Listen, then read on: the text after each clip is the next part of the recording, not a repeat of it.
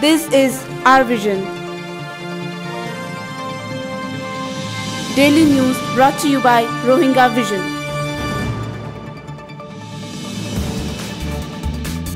မင်္ဂလာပါခင်ဗျာ2015ခုနှစ်ဧပြီလ25ရက်စနေနေ့အာရီရှင်းမြန်မာဘာသာသတင်းအစီအစဉ်စတင်နေပါပြီခင်ဗျာ။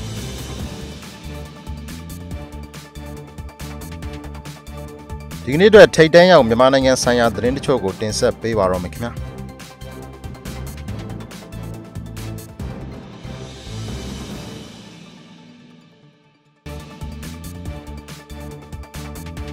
မြန်မာနိုင်ငံကနေအိန္ဒိယနိုင်ငံတွေကိုထွက်ပြေးရောက်ရှိခိုးလုံလာနေကြတဲ့ရိုဟင်ဂျာတွေအရေးနဲ့ပတ်သက်ပြီးတော့လာမယ့်တနင်္လာနေ့ကနေစပြီးနှစ်ရက်ကြာကျင်းပပြုလုပ်မဲ့အာဆီယံထိပ်သီးအစည်းအဝေးမှာဆွေးနွေးမှာဖြစ်တဲ့အကြောင်းမလေးရှားနိုင်ငံသားရေးဝန်ကြီးကပြောကြားလိုက်ပါတယ်။လွန်ခဲ့တဲ့နှစ်နှစ်တာကာလအတွင်းဒီထိုင်းမလေးရှားနဲ့အင်ဒိုနီးရှားနိုင်ငံတွေကိုမြန်မာနိုင်ငံရိုဟင်ဂျာတွေအလုံးရင်းနဲ့ထွက်ပြေးဝင်ရောက်ခိုးလုံလာတာနဲ့ပတ်သက်ပြီးစိုးရိမ်ပူပန်တဲ့အကြောင်း အာဆီယံနိုင်ငံတွေကမြန်မာနိုင်ငံကိုပြောကြားထားတယ်လို့မလေးရှားနိုင်ငံသားရေးဝန်ကြီးဒါတုတ်အာနီဖာအာမင်ကပြောကြားတဲ့အကြောင်းမလေးရှားရုပ်သံသတင်းတွေမှာဖော်ပြပါရတယ်။မြန်မာနိုင်ငံရဲ့ပြည်တွင်းရေးနဲ့အချုပ်အခြာကိုလေးစားတဲ့အကြောင်းဒါပေမဲ့လည်းဒီမလေးရှားနဲ့အင်ဒိုနီးရှားနိုင်ငံတွေစီကိုပြန့်နှံ့လာနေတဲ့ဒီအရေးကိစ္စဟာ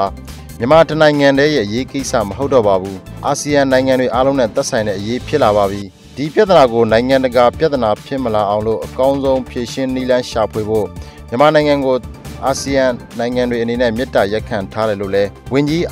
မလေးရှားဝန်ကြီးအာနီဖာအာမင်ကပြောကြားလိုက်ပါတယ်။အာဆီယံဖွဲ့ကြီးရဲ့နိုင်ငံအချင်းချင်းကြားဝင်ရောက်မဆွတ်ဖက်ရေးဆိုတဲ့မူဝါဒဟာဒီရိုဟင်ဂျာအကြက်တဲ့အရေးပြဿနာနဲ့ပတ်သက်ပြီးတော့ဖုံးကွယ်ထားတယ်လို့ဝေဖန်သုံးသပ်မှုတွေလည်းရှိနေပါတယ်။ပြီးခဲ့တဲ့ဗုဒ္ဓဟူးနေ့ကလည်းဒီအာဆီယံလွှတ်တော်ကိုယ်စားလှယ်များအဖွဲ့ကရိုဟင်ဂျာအရေးနဲ့ပတ်သက်ပြီးတော့အာဆီယံထိပ်သီးအစည်းအဝေးမှာဆွေးနွေးဖို့တက်သက်ဆိုင်ရာနိုင်ငံခေါင်းဆောင်အသီးသီးကိုလည်းတိုက်တွန်းထားပါတယ်။ လူခွင့်ရေးဆိုင်ရာအာဆီယံလွှတ်တော်ကိုယ်စားလှယ်များအဖွဲ့ကဒီဗုဒ္ဓဟူးနေ့ကထုတ်ပြန်တဲ့ကြေညာချက်ထဲမှာလည်းဒီနိုင်ငံချင်းချင်းကြားဝင်ရောက်မဆွတ်ဖက်ရေးဆိုတဲ့မူဝါဒကိုအာဆီယံနိုင်ငံတွေအနေနဲ့ဖျက်သိမ်းသင့်ပြီဖြစ်ကြောင်းလည်းဖော်ပြထားပါတယ်။အဲ့ဒီအာဆီယံလွှတ်တော်ကိုယ်စားလှယ်တွေအနေနဲ့ဒီရိုဟင်ဂျာအရေးကိစ္စနဲ့ပတ်သက်တဲ့အစီရင်ခံစာတစ်စောင်နဲ့မြစ်တာရက်ခံစာတစ်စောင်တို့ကိုပူးတွဲပြီးတော့ဒီအာဆီယံခေါင်းဆောင်တွေထံကိုပေးပို့ဖို့ရှိနေတဲ့အကြောင်း AP သတင်းတစ်ပုဒ်မှာဖော်ပြထားပါတယ်ခင်ဗျာ။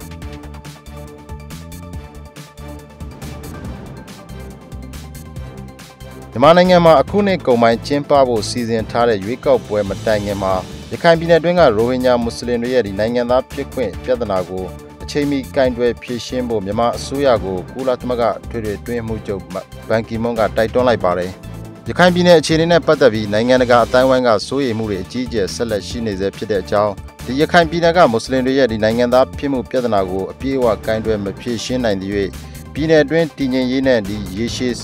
ရေရှည်တည်ငြိမ်မှုရရှိနိုင်မှာမဟုတ်ကြောင်းမစ္စတာဘန်ကီမွန်က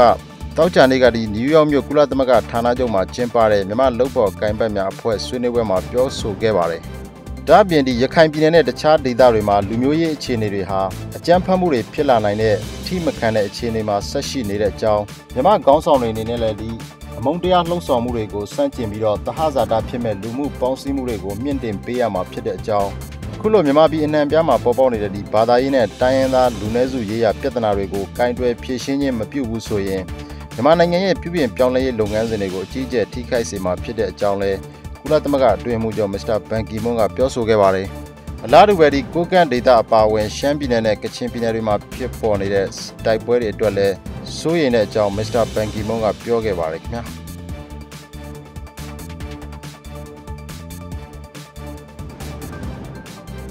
ရခိုင်ပြည်နယ်အတွင်းအစိုးရတပ်နဲ့ရခိုင်တပ်မတော် AA လို့ခေါ်တဲ့ရခိုင်တပုံတပ်ဖွဲ့တွေကြားတိုက်ပွဲတွေဆက်လက်ဖြစ်ပွားနေတာကြောင့်အစိုးရတပ်ဘက်ကဒီဘင်္ဂလားမြန်မာနယ်စပ်အနီးတစ်ဝိုက်မှာတပ်အင်အားတွေထပ်မံတိုးမြှင့်လိုက်ပြီးတော့စီးရေးလေ့ကျင့်မှုတွေလည်းတိုးမြင့်လှုပ်ဆောင်နေတယ်လို့သိရပါတယ်။ဒီတော့တွင်မှာပဲအဲ့ဒီ AA ရခိုင်တပုံတပ်ဖွဲ့နဲ့အဆက်အသွယ်ရှိသူတွေကိုအစိုးရအာဏာပိုင်တွေကမတရားသင်းဆက်သွယ်မှုပုံမှန်တွေနဲ့ဖမ်းဆီးအရေးယူမှုတွေလှုပ်ဆောင်နေတယ်လို့လည်းသိရပါတယ်။အလားတူပဲဒီကိုကန့်ကိုပိုင်အုပ်ချုပ်ခွင့်ရဒေသလောက်ကိုင်မြို့အနီးတစ်ဝိုက်မှာလည်း အစိုးရစစ်တပ်နဲ့ဦးဖုံကြားရှင်ဦးဆောင်တဲ့ MNDAA ကိုကန့်တပ်ဖွဲ့တွေကြားဒီရက်ပိုင်းတွင်တိုက်ပွဲတွေပြင်းပြင်းထန်ထန်ဖြစ်ပွားနေပါတယ်။တိုက်ပွဲတွေကြောင့်အကြအဆုံးအများပြားရှိခဲ့တယ်လို့ကိုကန့်တပ်ဖွဲ့ဘက်ကပြောဆိုလိုက်ပြီးတော့ကိုကန့်ဘက်ကလူ2ယောက်သေဆုံးပြီး12ယောက်ဒဏ်ရာရခဲ့တယ်လို့အစိုးရစစ်တပ်ဘက်ကလည်းလူ90အထက်သေဆုံးပြီးဒဏ်ရာရသူ200ကျော်ရှိတယ်လို့ကိုကန်တပ်ဘက်ကပြောပေမဲ့အစိုးရဘက်ကတော့အဲ့ဒီတိုက်ပွဲသတင်းနဲ့ပတ်သက်လို့တစုံတရာထုတ်ဖော်မပြောသေးပါဘူးခင်ဗျာ။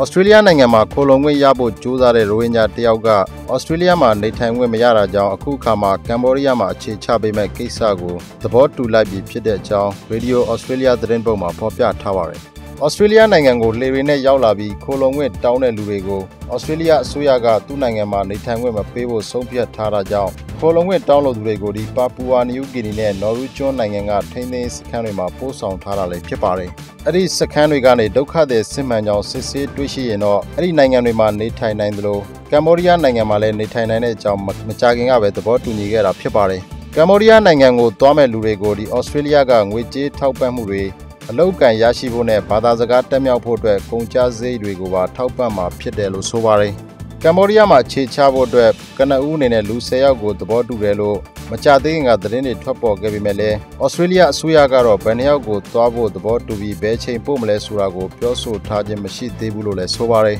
။အခုခါမှာတော့ဒီရိုဟင်ဂျာတူကကမ်ဘောဒီးယားကိုသွားဖို့သဘောတူကြောင်းပြောဆိုထားတာဖြစ်ပြီး